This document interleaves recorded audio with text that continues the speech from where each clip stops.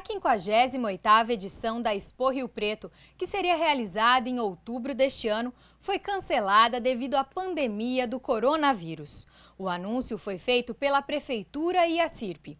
Os organizadores afirmaram que tentaram organizar a Expo de forma virtual, mas como não há protocolo para o julgamento e ranqueamento das raças bovinas à distância, a realização ficou inviável dessa forma. A 58ª Expo Rio Preto será realizada presencialmente em 2021. Maria Estela Calças para a TV Câmara, o canal do Legislativo.